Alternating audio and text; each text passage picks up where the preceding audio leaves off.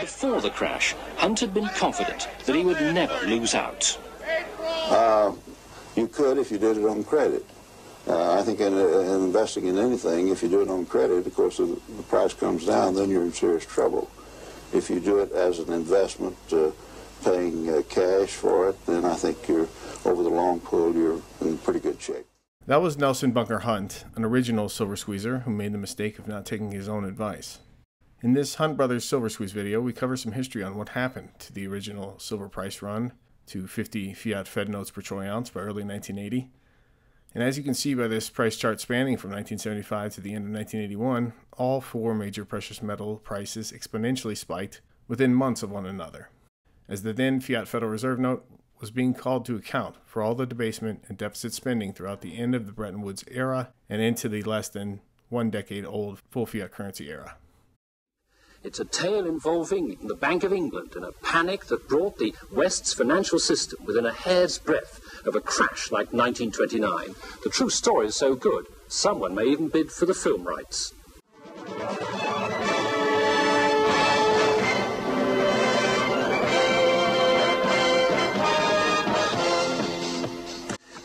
Family of that television soap opera is based loosely on a real-life oil millionaire family who live in Big D. The main difference between them is that the real family have a burning ambition to corner the world's silver market, an ambition that led two weeks ago to the biggest crash in its history.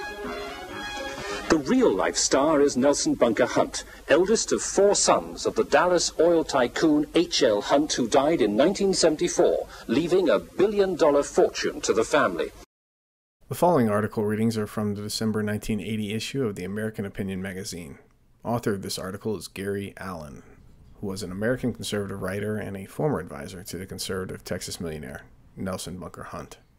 Nelson Bunker Hunt, fabled son of the legendary billionaire H.L. Hunt of Texas, has been called Silverfinger by financial journalists eager to dramatize his silver investments in the purple ad hominems of a James Bond novel. Hunt is neither an eccentric villain out of James Bond nor a sinister schemer in the mold of J.R. Ewing of the Dallas television series. He's in fact a happy combination of sober realist and idealistic visionary. He's a sober realist because he understands the perilous direction in which our civilization has been headed, the political instability, the civil turmoil, the financial catastrophe of hyperinflation and moral bankruptcy, and he's an idealistic visionary because he is working for a better world in which the people govern themselves and their economy without being victimized by a paper aristocracy, which profits by manipulating government and inflating currencies. Mr. Hunt is a faithful Christian, friendly, unassuming, and temperate. He refrains from both liquor and tobacco, flies tourist class on commercial airlines, and dresses simply. A member of the National Council of the John Birch Society, he is a determined patriot and a formidable opponent of the establishment insiders who seek to make America one more colony in a new world order. Earlier this year, Bunker Hunt and his brother Herbert were targets of one of the most spectacular swindles in financial history. This was barked by the now infamous silver crash that culminated on March 27, 1980. But before we describe this biggest holdup since the Brinks job, let's examine some of the reasons the Texas billionaire set out to acquire 100 million ounces of silver rather than, say, a million pounds of kumquats. It's been alleged by the usual establishment propagandists that the Hunt brothers were irresponsible speculators in silver and that it was their actions that produced the silver debacle. But Bunker Hunt was not a spec- speculator in silver. Speculators are short term players, they do not buy their holdings to keep, as Hunt was doing and continues to do. People gamble on the future price of pork bellies to make money in a relative short period, not as a long term investment. With gold and silver, on the other hand, there are many who, like the Hunts, see the metals as cash and prefer them to paper money. They are investors for the long term. Thus, Bunker Hunt put a fortune in silver for three reasons. Number one, Mr. Hunt is aware that for the past 20 years, world production of silver has been in the neighborhood of 300 million ounces annually, while consumption has been about 500 million ounces. This means that every year the world comes up short of silver by about 200 million ounces. This shortfall has been made up from silver mined and stored over hundreds of years. Since about a third of the world's silver is in the form of jewelry in India and is locked up there because of India's government's prohibition of its export, Bunker Hunt quickly calculated that the shortfall would soon consume all the available reserves of silver and produce a price squeeze. The price of silver was bound to rise dramatically. Number two, most people still listen to Walter Cronkite telling them that inflation is rising prices, but Mr. Hunt knows that rising prices are the effect of inflation and that the cause is huge federal deficits that are spun out into the economy as fiat credit and currency.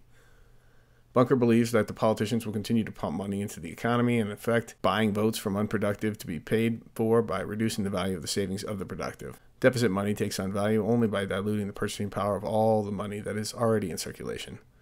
Mr. Hunt realizes that this process might continue until it takes a wheelbarrow full of Washingtons and Lincolns to buy a Big Mac.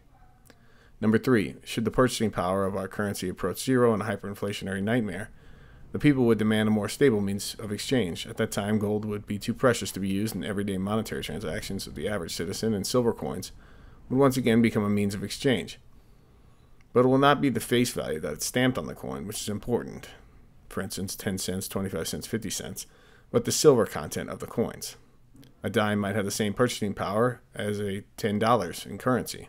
For these three reasons, the Hunts began buying silver in the 1970s as a hedge against inflation and political chaos, an investment that had to increase in value due to the increasing short supply in comparison to the increasing world demand of the metal.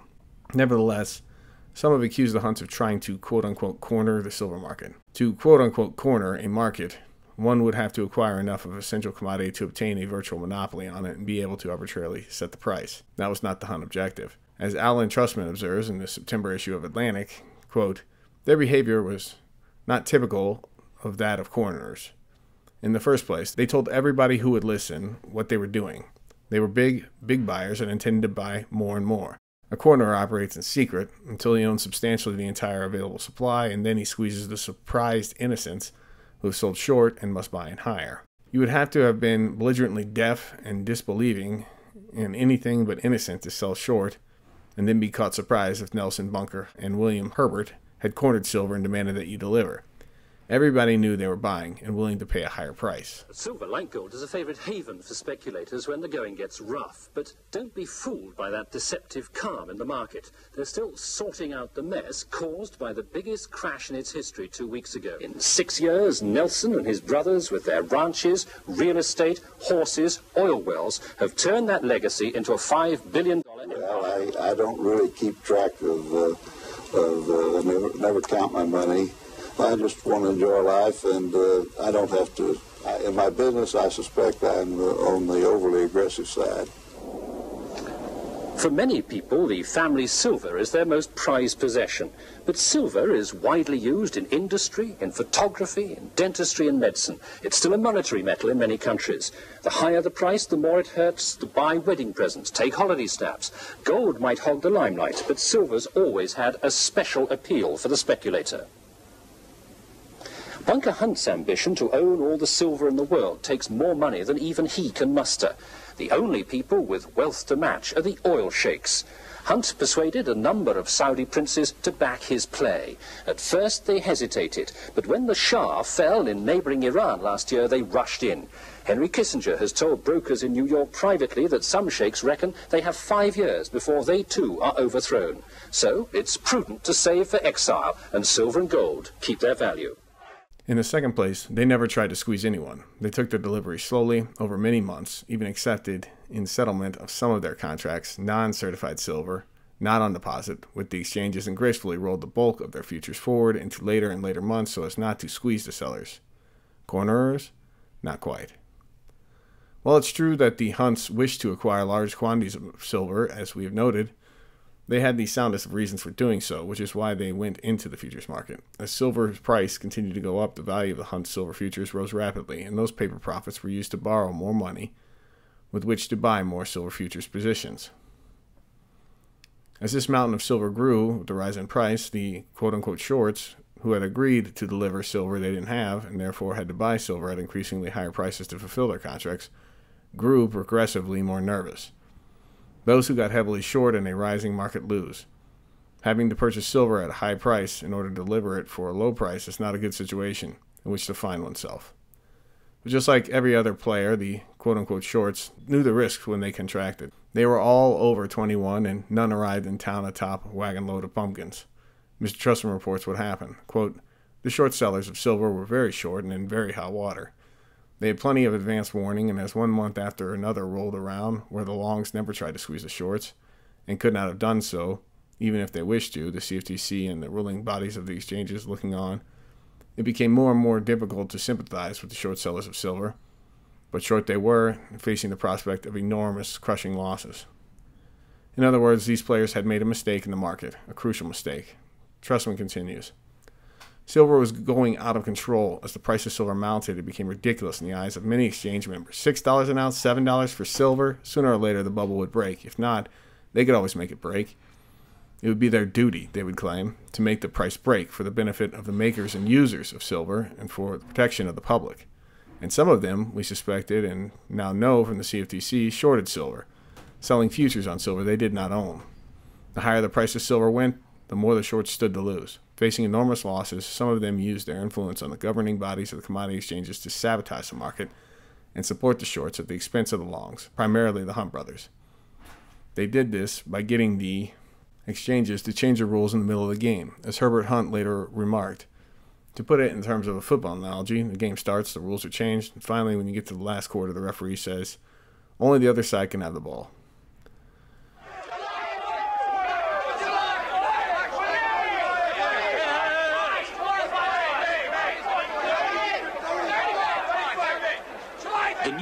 New York silver market is where the big players like Bunker Hunt stake their millions. With his own fortune now linked to Saudi billions, Hunt was the biggest player of all. When Hunt started buying silver in earnest in January 1979, the price was a little over $6 an ounce. Hunt watchers reckon that he owned about 50 million ounces. Hunt bought steadily throughout the whole of the year. By January 1980, when the price peaked at $52, Bunker Hunt had stashed away, say the market men, about 150 million ounces, between a third and two-thirds of one year's supply. Despite the series of margin increases made by the exchanges, however, the price of silver did not fall. The rule changes hadn't worked. Only the little traders were forced to sell, and they didn't own very much silver compared to the big investors. Price of silver stayed up around the 15 to 16 dollar range in October 1979. The insiders on the exchanges, millions of ounces short, were now desperate. Silver began to climb once more, closing in 1882 in November, zooming through 20 by December 20 by December 12th, 25 by December 26th, 34.45 on December 31st, and then $38.85 on January 2nd. A spectacular climb. The hunts were doing very well indeed, but those who were short the market were contemplating a leap from their penthouses. The response to the exchanges? Change the rules some more. Keep changing them to cheat the hunts. Within a period of two weeks, three new rules were imposed. On March the 27th, Black Thursday they're calling it, the market nosedived. The price dropped to just over $10 an ounce, and the Hunt Syndicate lost well over $2 billion that day in paper profits. What had happened was that Bache, Hunt's principal broker, had asked their client for more cash to cover the debts he had built up during his buying spree. Bache was in danger because of the market practice of buying silver on credit, on margin as it's called. If the price falls, the broker demands more money or margin to cover himself. When Bunker Hunt ignored the margin call, Bache sent one of their men down to Washington to the CFTC, the Commodity Futures Trading Commission, set up in 1975 to police the market. Elliot J. Smith, a Bache director, asked the CFTC either to close down the market to give them time to recover or force Hunt to settle out his contracts. My interview uh, or discussion with the, with the staff members of the CFTC and with the commissioners, they advised me that they might consider A, stopping trading for two or three days, and let the market settle down, but they would not in any way settle out the contracts. They advised me that morning that they had word from the Bank of England that if they stopped trading, it would be considered by the European market as a very bearish point of view. What the Bank of England was telling the CFTC in no uncertain terms was that by closing the silver market, they risked a major financial collapse on both sides of the Atlantic. As it turned out, the Commission decided to do nothing and let Bache take their chance when business started the following day. The situation was serious, potentially grave, but there's a philosophical line that has to be drawn. The CFTC is here to protect small customers and commercial users of the commodities markets. It is not here to protect large speculators and the brokerage houses that seek their business. That's what closing would have done. How far do you think this whole affair has damaged the confidence of the people that you seek to protect, the small investors, in commodity trading here in the United States? I would say that it has made people far more aware of the speculative, sometimes dangerously speculative nature of these markets. It will therefore make them more cautious. The lesson is probably uh, all to the good in that respect. But could it happen again? It could conceivably happen again. I don't think the tools we had available were strong enough to stop it. I think those tools should be put in place so it can't happen again. We can't take a risk that something which comes out of a, simply a desire for excessive speculation is going to tear the financial fabric of the United States. We cannot take that risk again. Then the final touch to sabotage the silver market, the third of three rule changes. On January 21st, 1980, New York Comex again changed the rules in the middle of the game by suspending all trading except for liquidation purposes and no deliveries, while raising margin requirements to the highest level in history of the exchanges. The Chicago Board of Trade imposed similar restrictions the next day. This meant you couldn't sell unless you were long, and you couldn't buy unless you were short, even if you were willing and able to put up the 50,000 initial margin the exchanges were demanding. You would not be permitted to buy except to cover your short position. Longs were not permitted to buy in the new market. They were excluded, stacking the deck in favor of the short sellers who wanted the price to drop down far enough so they could get out of their positions. This effectively killed the silver futures market in America. The shorts, which congressional hearings later revealed to include members of the exchanges and members of the Commodity Futures Trading Commission itself, had used their influence to intervene and sabotage the market to swindle the hunts. As Bunker Hunt was later to lament, quote, there was no way to sell anything except at a distressed price. The shorts were sitting on the Comex board, and we were sitting down here in Dallas long, trusting them. Unquote. Greatly disenfranchised by the whole outrage, Bunker Hunt observes, quote, All those exchanges are run by the shorts, and with the connivance of the shorts. There are 23 people on the Comex board. I've heard at least half of them made a huge amount of money. They positioned themselves the day before the big January 21st liquidation vote. They didn't even have the silver bullion, they just sold short. They knew they could break the market because they were the guys voting, unquote. Herbert Hunt's analogy about the referees at a football game changing the rules in the fourth quarter was right as far as it went. Now players from the other side had climbed into costumes as referees to make absolute certain their team won. Suddenly the game was being run with all the fairness and equity of a lynching. The series of margin hikes and position limits was bad enough. Those drove out small buyers and forced large traders to dispose of their contracts. The effect was to make the market increasingly liquid and cash poor. Between September 28, 1979 and February 1, 1980, the number of outstanding contracts had dropped 53% on the COMEX and more than 69% on the CBOT, but the liquidation only rule was the final move of the vested insiders to rescue themselves as short players and sandbag the hunts. Oh, I, I, would buy about 200 lots at 850 on silver, looking for 10 pounds on the upside. You're ready to do some very Given the financial position you've got at the moment, 200 lots seems reasonable at this level, because the Arabs are going to move in later. They've been buying through the Dresdner Bank at current levels, and I think over the short term you're going to see 9 pound 50, 10 pounds at the current levels. The silver market in London, second only to New York in size, felt the shockwaves at the same instant. British and American brokers are in constant touch by phone, so if New York is hurting, so will London. Dealing rooms on both sides of the Atlantic have been busy since March the 27th, clearing up the mess. So far, the big brokerage houses like Bache have either absorbed their losses, in some cases even made money out of the collapse. The banks are still smarting, although only one small New York broker has actually gone to the wall owing $4.5 billion. David Hargreaves is managing director of one of London's bigger silver brokers, Rayner Harwell. The atmosphere of Black Thursday is something he'll never forget. Okay, and I'll call you back on the next ring. Thank you. What was it like here in the silver market in London on the day? Panicky in the extreme because you had a lot of people phoning, trying to save themselves money. Nobody was making money, everyone was trying to save money. What were they saying? They were saying, sell me out. Basically that, sell me out. And after a time it became sell me out at any price, which of course engenders a falling market. How much money do you think went down the drain that day? Well, if we consider that probably three to four hundred million ounces of silver was trading on the market, and it dropped by an average of five pounds an ounce over the time, that's one and a half billion pounds. When the margin call went out to Bunker Hunt from his uh, from his brokers, why do you think he didn't meet it? After all, he's not exactly broke. No, now there are two stories going around, and I subscribed to the latter. One was he couldn't meet it. The second was he wanted it to fall. But I think the extent of the fall overcame even his ambitions. He wanted a, a setback so he could buy more. I think the degree of the fall really took him by surprise as well.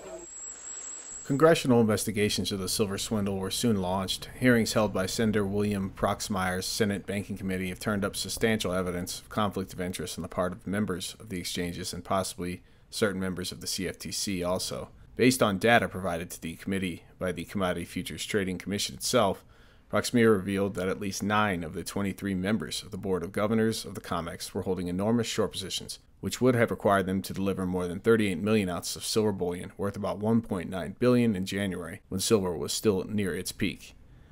This amounts to one of the greatest plunders by conflict of interest in financial history.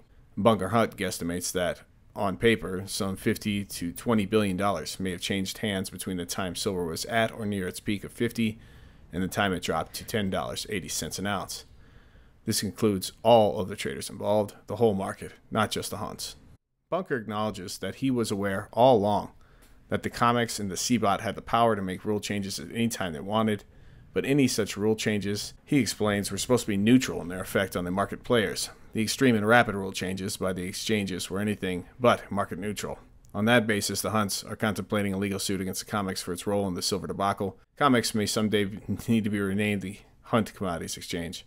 The whole episode demonstrates the classic tendency of government regulatory agencies to take side with special interests within the industry under regulation. Government intervention is never, quote unquote, market neutral and can only help some at the forced expense of others. The commodity exchanges made their disruptive rule changes in conflict with previous contract obligations, with knowing approval of the Commodity Futures Trading Commission.